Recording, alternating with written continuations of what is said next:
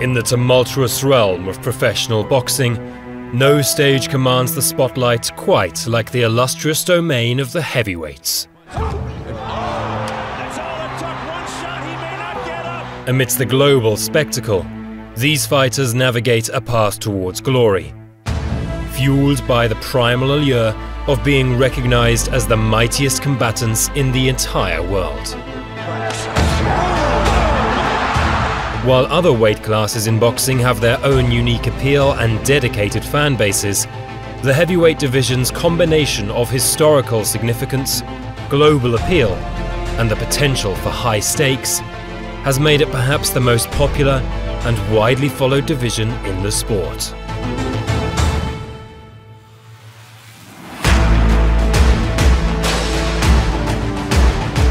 And today, in a journey spanning 15 years and 56 combined professional bouts, two distinctively recognized champions stand out from the rest.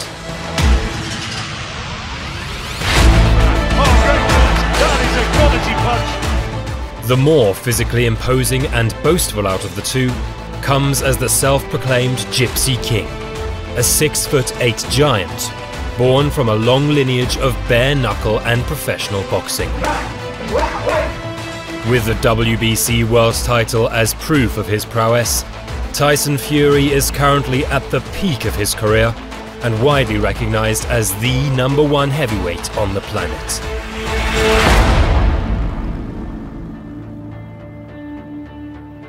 Such a prominent position, however, can never go unchallenged and his counterpart, an equally charismatic world champion with just as much enigma, holds a remarkable journey of his own, ranging from Olympic triumphs to multiple titles in multiple weight divisions. And with three out of the four heavyweight trinkets already in his grasp, he makes a daring attempt for the Gypsy Giant's precious green and gold accolade. All warm. Won this fight. Yeah? For far too long, fight fans have bemoaned the state of the heavyweight division. Numerous talks have been held over numerous occasions to pair up the world's top heavyweights. But it's taken until now, with the help of a peculiar broker in the Middle East, for all of the major world honours to be at stake between the two clear-cut leaders of the division. You're fighting the best British heavyweight there's ever been. You beat all the rest of them. We went beat Tyson Fury yet, sausage. And this February, in the scorching heat of Saudi Arabia, audiences will finally get the answer for who truly is the best heavyweight of this era. Welcome to the Tyson Fury versus Oleksandr Usyk fight countdown.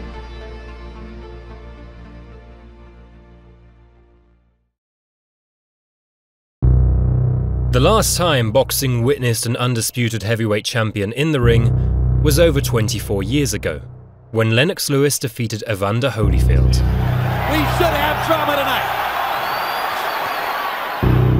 In what is now labelled as the three belt era, Lewis snapped up all of the championship belts from the recognised sanctioning bodies. And though the Briton did immediately relinquish one of the titles, achieving the undisputed status was an important step in securing his position as the number one heavyweight. And the undisputed heavyweight champion of the world, Lennox Lewis. But over two decades have since passed, and with the exception of the great Wladimir Klitschko, Many titleists have graced the division without being able to claim unequivocally that they are the best of their era. The closest claimant to that status today, however, will argue differently. You don't need me to introduce the WBC World Heavyweight Champion defending the title again. Tyson Fury is the current champion of perhaps the most prestigious sanctioning body, the WBC. And with two colossal scalps on his resume in Wladimir Klitschko and Deontay Wilder, the general consensus remains that he deservedly occupies the number one position. He's best heavyweight in the world, by far. He said it from day one, best heavyweight in the world, ain't no one beating him, nobody. But should a whisper of doubt exist in that declaration, it will be due to the recent arrival of a charismatic Ukrainian by the name of Oleksandr Usyk. He's everywhere.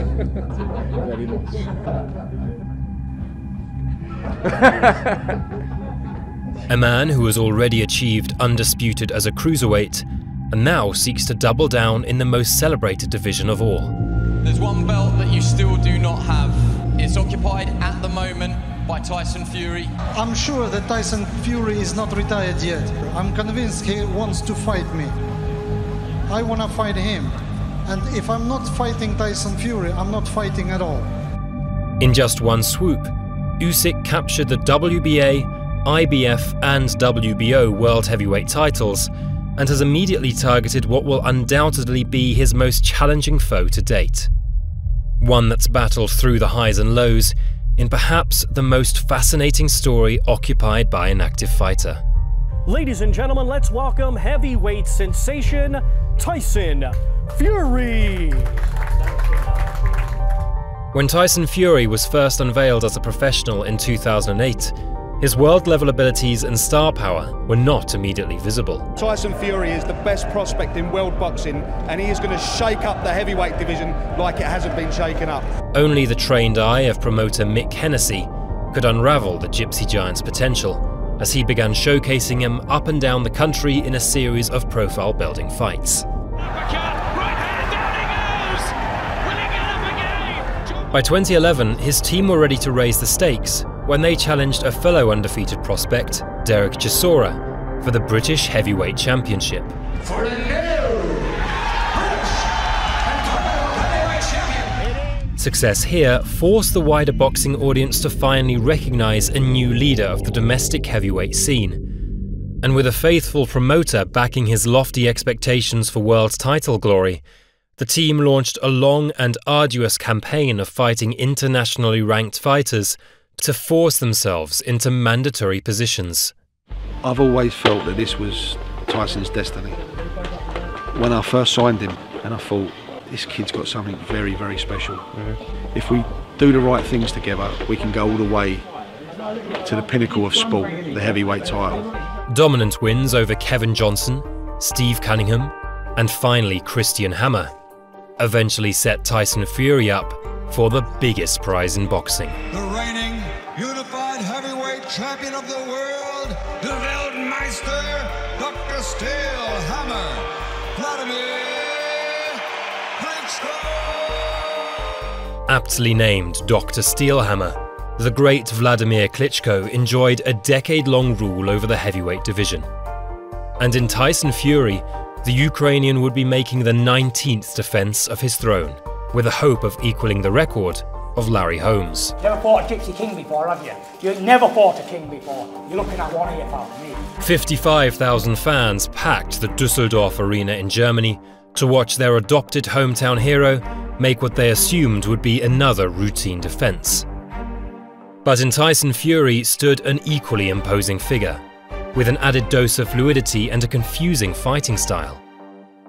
The constant feints, the switching of stances, and an ever present jab subdued the heavyweight champion throughout the entire 12 rounds. And for the first time in over a decade, the heavyweight division finally experienced a changing of the guard.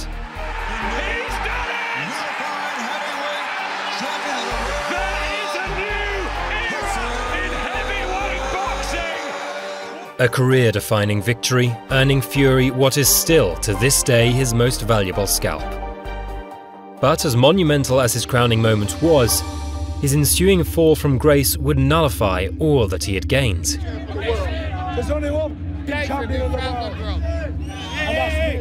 A collapse in the mandatory rematch and numerous personal problems forced the new champion into a dark exile from the entire sport. You don't like it, change the station. You don't like it, don't take photos. You don't like it, don't print it in your newspaper. Do I care? Not really. His newly acquired world titles were subsequently scattered across the division as new title holders emerged in his three year absence. Not one of the current heavyweights at the moment could ever be considered the man of their era unless they beat me. The changing of the heavyweight landscape coupled with extreme weight gain meant Fury had quickly become a forgotten name. And after a long process of mental and physical rehabilitation, an official return to the ring wouldn't be made until the summer of 2018. I finally had enough. I can't be avoided and put back to the curb anymore. You know, I'm here, uh, I'm willing and I'm ready to fight. Strong skepticism still remained in Fury's ability to get back to the top of the sport. And after just two comeback bouts against low tier opposition, a powerful statement to restore public confidence was desperately needed. Well, let's bring in the man holding that coveted green strap, the undefeated WBC heavyweight champion of the world. This would come unexpectedly in the form of Deontay Wilder, the WBC world champion and widely regarded as the most fierce puncher in the entire sport. Bomb squad! Peace. Oh! oh! The Americans saw in Tyson Fury a decayed former champion, in which a victory would grant him a favourable negotiating position against his then rival, Anthony Joshua. But unbeknownst to Wilder, the decision to select the Gypsy King as his next opponent would entangle him in a three-fight chapter to stamp his ultimate demise, and Fury's rebound to the top of the sport. 12 rounds of boxing in a showdown of heavyweight giants. Their first encounter saw Fury surprise both Wilder and the entire boxing world by returning to the unorthodox fleet-footed style that earned him his championships three years prior. Well, Wilder for me has been outboxed in this fight so far. And though he was required to climb off the canvas twice in the face of Wilder's power, Fury battled to a draw and earned rave reviews in a fight many thought he deserved to win. Split decision draw. That's the second best heavyweight in the world behind me. The highly anticipated rematch then followed 15 months later, with Fury this time around entering the ring as a restored, fully fledged heavyweight operating at peak fitness levels. Good jabs again up the right hand. Terrific shot from Fury. A noticeably more aggressive and confident approach prevented Wilder from gaining a firm foothold in the fight. A little bit of the head there. Oh, good Right right hand down. Left hand, right hand. And much to the astonishment of all in attendance, the WBC World Heavyweight title changed hands in seven remarkably one-sided rounds. Now into the fifth. And oh, Wilder in trouble again. He in there, Wilder. I don't think he's got much pressure. And he's gone. He's gone. I tell you. The most dangerous puncher in the sport was reduced to a debilitated and defenseless shadow of his usual self, forcing his corner to intervene and complete Tyson Fury's official return to the top of the heavyweight division. The fight's all over. They've the towel from the Wilder corner. And Tyson Fury is the heavyweight champion of the world. But the proud competitor in Wilder, who had held his title for four dominant years, was never going to stomach such a humiliating defeat. And thus ensued 18 bitter months of cheating allegations and court arbitrations to force Tyson Fury to honour his rematch obligation. As you see, I'm wearing my red outfit, so I want it back in blood. So when it's like You're in that, denial and you're getting knocked out. Due to the one-sided nature of the previous meeting, many observers dismissed the third and final bout as a pointless rehash of a predictable ending. And up until the third round, their sentiments seemed justified. There's Animate. Oh, he's got a big right hand. Oh, down. He goes down. It was the right hand that did the damage. But if this highly contentious rivalry had taught fans anything, it was that victory should never be assumed when Deontay Wilder's power is involved.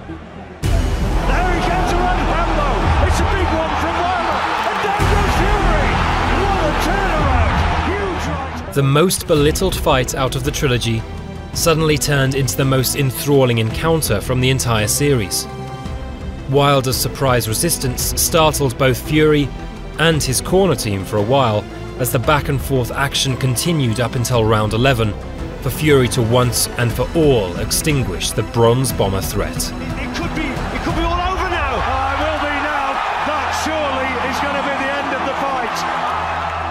Although the Deontay Wilder saga besieged the Briton in a prolonged bitter feud with numerous scares, it did provide an immediate return to the prime status he previously earned. The Gypsy King, Tyson Fury. An inspiring revival of a career that six years prior seemed depressingly bleak. And perhaps the most interesting aspect of Fury's comeback was that he managed to outlive all of the new titleists that emerged in his absence. Let's just say I'm the lineal champion of my era. I can only be the best of my day. I'm the generation fighter. It's even the guys from today, like Anthony Joshua, and they're all good champions. But without sounding too sharp and clever, I placed myself right on top of the pile. The WBC champion was now unanimously considered the best heavyweight on the planet. But as is often the case in boxing, such a position would inevitably invite a new contender to make a compelling case of his own.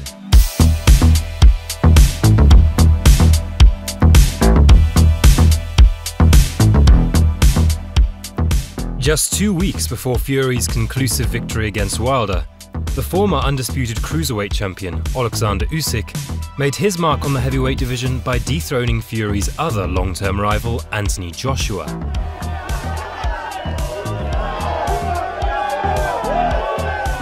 Winning the WBA, WBO and IBF titles from an accomplished champion in Joshua upheld the belief of Usyk supporters that any conversation pertaining to the best heavyweight in the world must now involve him.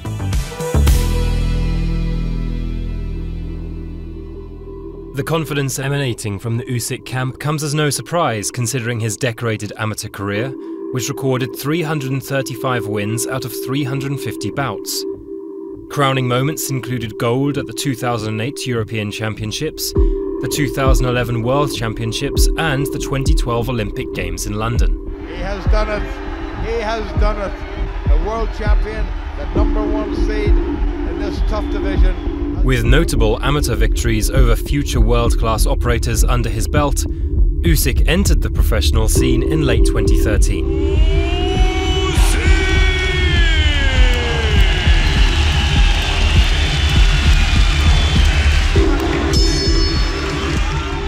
Standing at 6 foot 3 inches, he found his ideal weight as a cruiserweight and quickly rose through the ranks with his strong amateur pedigree paving the way for him to compete for his first world title in just three years.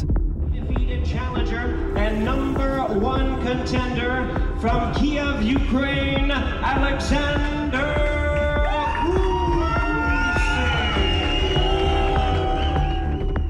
The champion he was about to face was the undefeated 26 0 Krzysztof Głowacki, who had recently secured the WBO title by knocking out Marco Huck. Huck is in major trouble. It's over. It's over. The streak is over. Głowacki with the But despite Głowacki's impressive run of form, the distinct advantages in skill and movement were overwhelmingly on the Ukrainian side, who, as the fight progressed, added layers to his performance with body assaults and accurate combinations to the head. It was very rare in such a big man. Oh, big left hand, right hand. The pole, durable to the last round, could do nothing to overturn the tide and prevent his championship switching hands via a unanimous decision. And the new WBO Cruiserweight Champion of the World, Alexander. Just 10 fights in, Usyk was emerging as a frightening proposition for anyone at 200 pounds. And his mission was evident to hunt down the remaining champions in his division.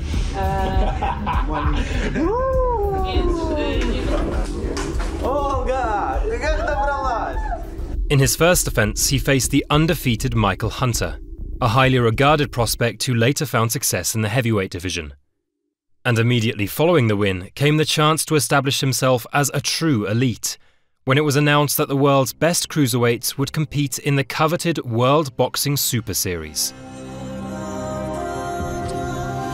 Welcome to the World Boxing Super Series, a new revolutionary. It was an eight man single elimination tournament, one in which Usyk would need to battle through a streak of proven world champions, both past and present, to demonstrate his worth. What's the name of your opponent?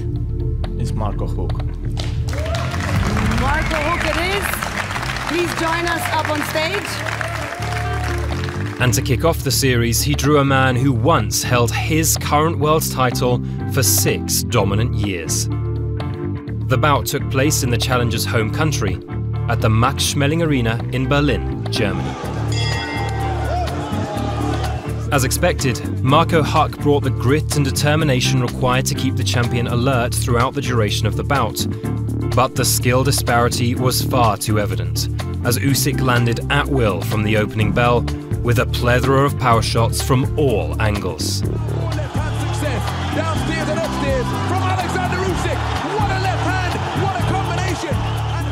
The German began fading further in the latter rounds, and it appeared Usyk could end the fight at any time.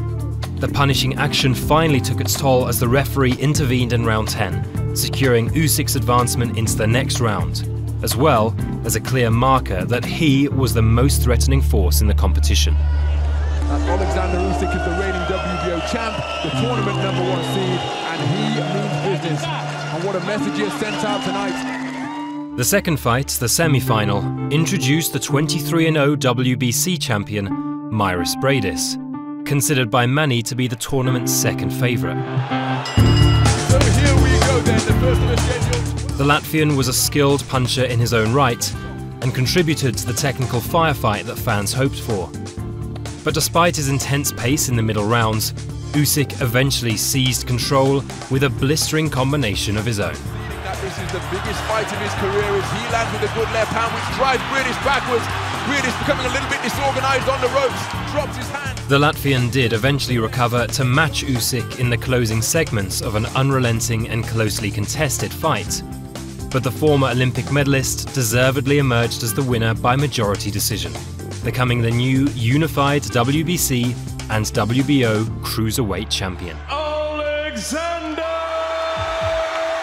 Usyk. But as thrilling as that semi-final performance was, one more hurdle stood between Usyk and the undisputed cruiserweight championship.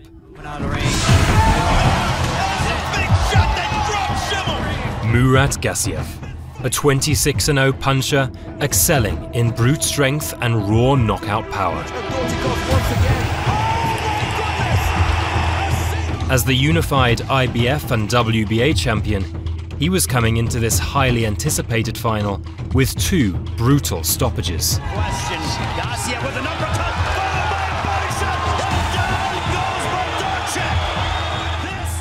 But whatever the violence he planned to unleash, it was no match for Usyk's sharp jabs and educated footwork. So here we go then, the battle for the undisputed Cruiserweight World Championship is underway, round one, scheduled for 12. Even a brief moment of success in the fourth was shaken off by the Ukrainian's impressive chin, as the Russian appeared stylistically outmatched against a dazzling southpaw offense. Beautiful left hand on the end of that volley of punches once again. Favoured to win the competition from the outset, Usyk saved his most dominating performance for last, as all three judges scored wide in his favour.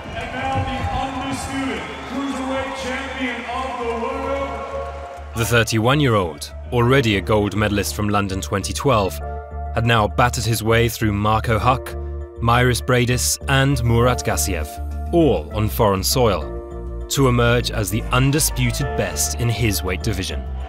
Ladies and gentlemen, another round of applause, if you would, for the new undisputed cruiserweight world champion and the winner of the Muhammad Ali Trophy, Oleksandr Usyk. This remarkable achievement alone would have been an ideal farewell to the cruiserweight division. However, in boxing, boosting a fighter's profile remains an essential component in furthering their standing amongst the sport's best. Superstar. Uh, superstar. No. Superstar. No, no, no. Megastar. And so, in November of 2018, Usyk briefly returned to the UK for a high-profile bout with Tony Bellew to deliver a spectacular eighth-round knockout to endear him to a new set of fans eager to see him return against other local opponents. Thank you. He deserves all the success in the world. I only wish you greatness. Thank you. But the Ukrainian's cruiserweight exploits, even in the earlier phases, sparked speculation about his potential against bigger opponents in the class above. Even his 2012 Olympic glory at 91 kilograms was seen as a forewarning to future heavyweights of his impending incursion. It just so happened to be that his inauguration at the higher weight took place during Tyson Fury's well-documented return to the top of the heavyweight division. But Usyk's new venture for now endured skepticism from a few remaining cynics who doubted his physical ability to compete with heavier opponents. And his long-awaited bout at heavyweight is very nearly upon us. Nonetheless, his new campaign began with a one-sided stoppage win against Chaz Witherspoon before seeking out a more challenging bout in the UK against veteran Derek Chisora.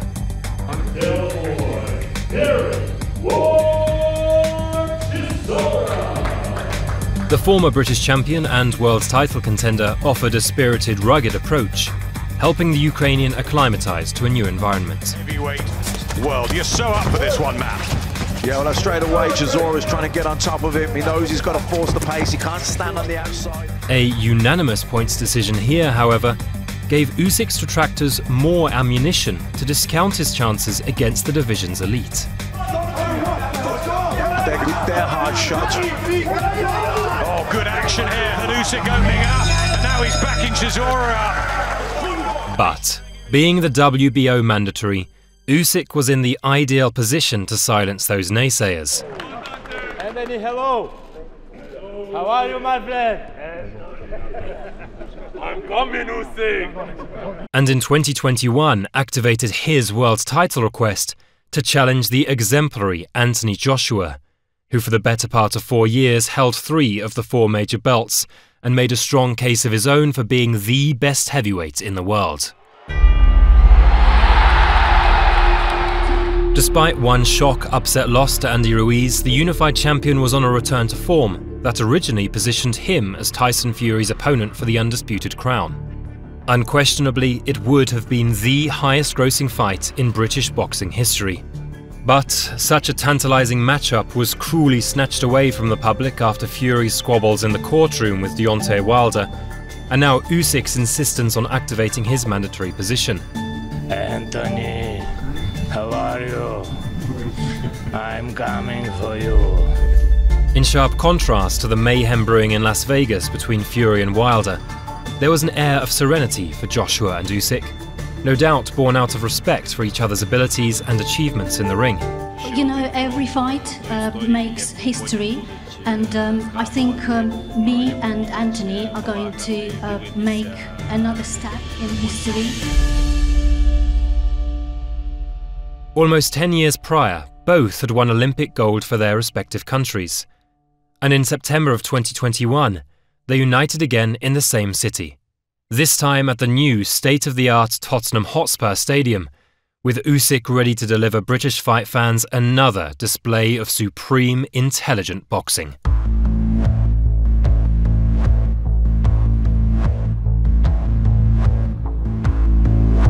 The fight opened tentatively, with Usyk's straight lefts serving as the main highlights. The champion, despite his significant weight advantage, seemed to dial back on his power to improve his accuracy against the nimble challenger. But Usyk's smart use of feints and movement prevented Joshua from settling, as the rounds began stacking in the Ukrainian's favour.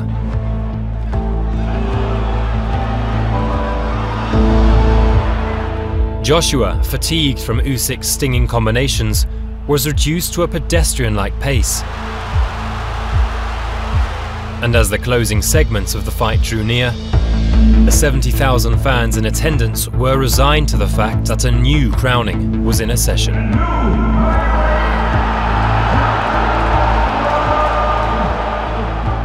Usyk emerged victorious on all three judges' scorecards. It was a stunning performance to become only the third boxer in history after Evander Holyfield and David Haye to win world titles at cruiserweight and heavyweight.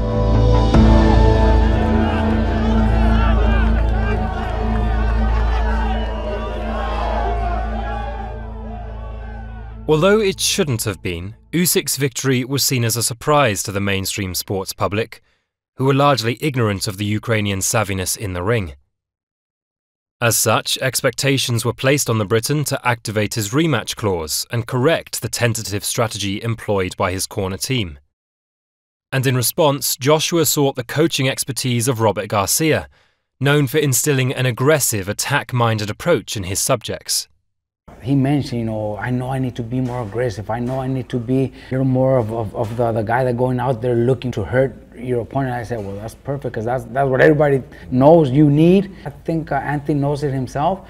That we're gonna we're gonna push him to go for the knockout.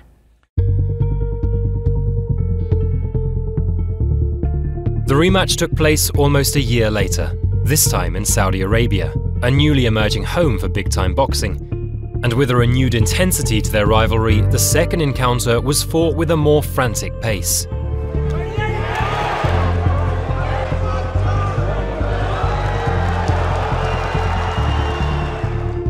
Under the guidance of his new trainer, Joshua's emphasis on Usyk's midriff had an authentically Mexican flavour and in the ninth round put the champion on the retreat with a perfectly placed uppercut to the body.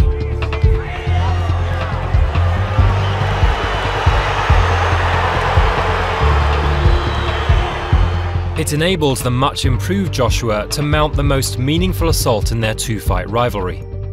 But remarkably, after the one minute rest, a revived Usyk came out of the blocks with an unmatchable pace to remove whatever confidence Joshua had built up from the previous round.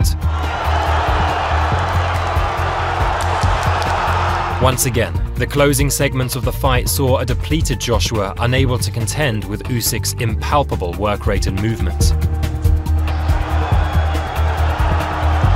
According to CompuBox, in the last three rounds, Usyk threw 232 punches to Joshua's 149 and outlanded him 79 punches to 29.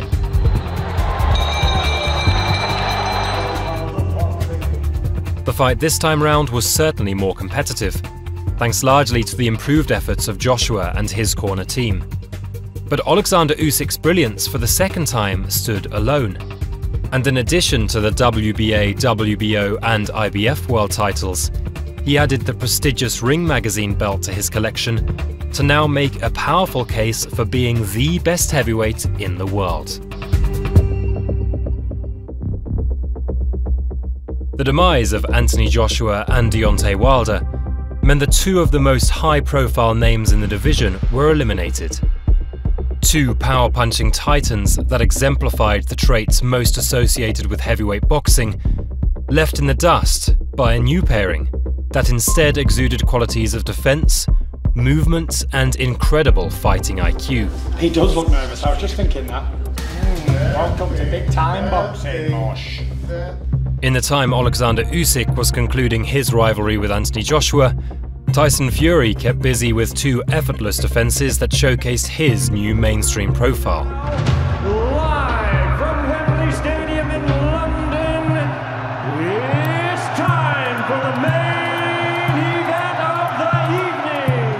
The first came against his mandatory challenger, Dillian Whyte, in front of a packed 94,000 crowd at Wembley Stadium.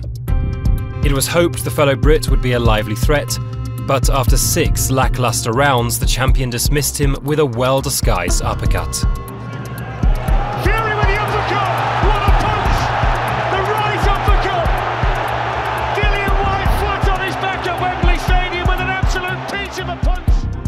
The fall of 2022 then saw the third encounter between rival turned friend Derek Chisora, in what many brushed off as a redundant contest against a clearly faded opponent.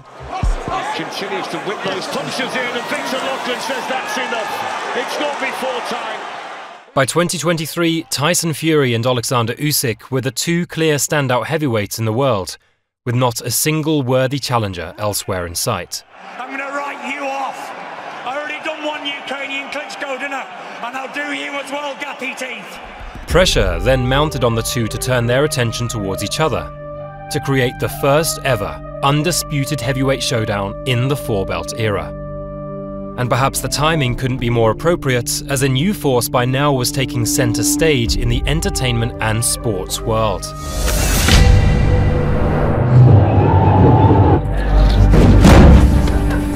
The Kingdom of Saudi Arabia, with its Vision 2030 project, is currently on a quest to diversify the country's economy and develop public service sectors such as health, education, and tourism. And one of the main avenues to achieve this mission is through sport.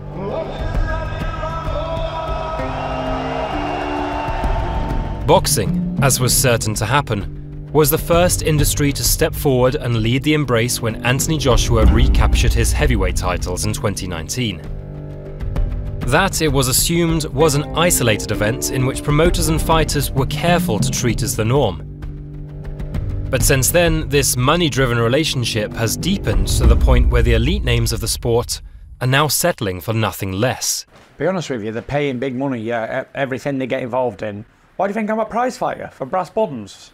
I'm a prize fighter, get paid and get laid. And it was under this pretext that the first negotiations between Team Fury and Team Usyk fell frustratingly short. Where before the decision to stage the mega fight at Wembley Stadium would have been a relatively straightforward one, the allure of the Middle East instead stalled the process and both fighters went their separate ways. Then I'll fight whoever's next after that. If Usyk can be made, if they actually want the fight, then we'll do that fight next. Usyk took the opportunity to satisfy his WBA mandatory request in Daniel Dubois, a once highly touted power punching prospect that was now relishing his renewed chance to become world champion. But despite his spirited effort in which he replicated Anthony Joshua's tactics of targeting the body, his attempts were also stifled by Usyk's superior skill and experience. Straight, great shot, right hand,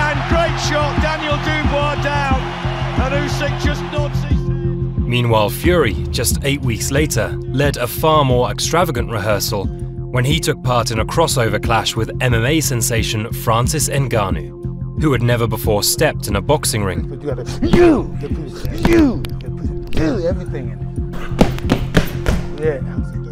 In reality, the fight was nothing more than a giant canopy of a manufactured rivalry. But the outlandish build-up and mind-blowing production quality created an irresistible spectacle to draw in even the harshest of cynics. And to match the madness of the occasion, the surprisingly adept Ngannou almost ripped the script by launching a well-timed left hook to catch Fury early on. Fury recovered, as he had done often before in his career. But instead of a routine demonstration of his prowess in the ring, the WBC champion was forced to endure a competitive 10 rounds, in which, astonishingly, he managed to salvage only a narrow split decision win. Disaster was averted, as an alarmed Usyk ringside watched his undisputed opportunity almost fade into dust. I don't know. Were you surprised by the knockdown? For me? Yeah. Yeah, of course, a surprise. Yeah. Oh, whoa, whoa, whoa, whoa, Francis, be careful, please. I say, Tyson, jab, jab, move, jab. I say.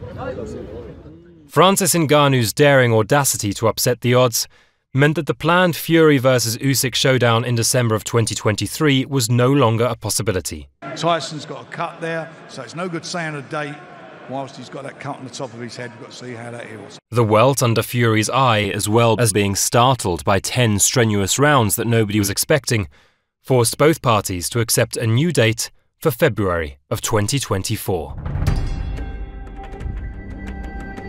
Ever since its foray into boxing, the Kingdom of Saudi Arabia has been determined specifically to stage an undisputed heavyweight title fight.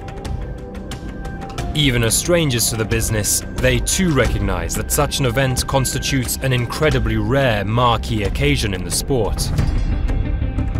Almost a quarter of a century has passed since the last time the heavyweight titles were consolidated into one supreme champion. Therefore, the February 17th date unquestionably marks a symbolic moment for the division.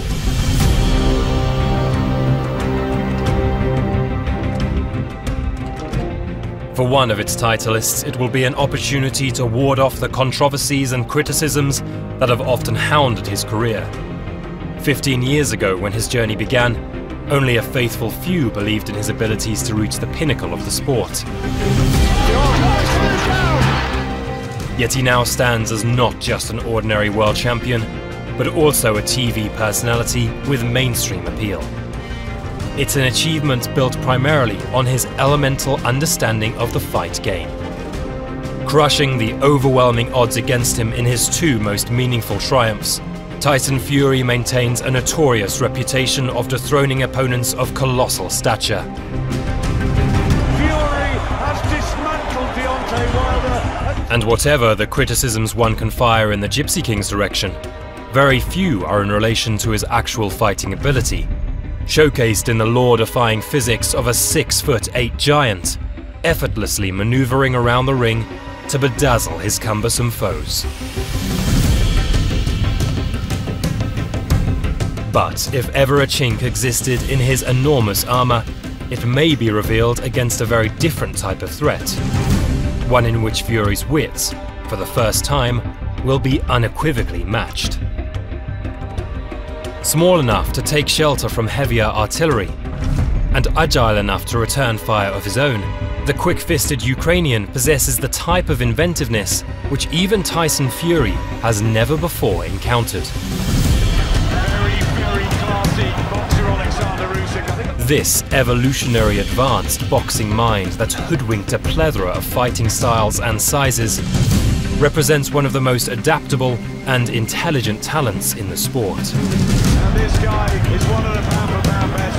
Repeated gold medal victories as an amateur becoming undisputed in one of the most competitive divisions at the time, and now standing as a unified world heavyweight champion, puts Oleksandr Usyk on a mission to complete a very unique legacy.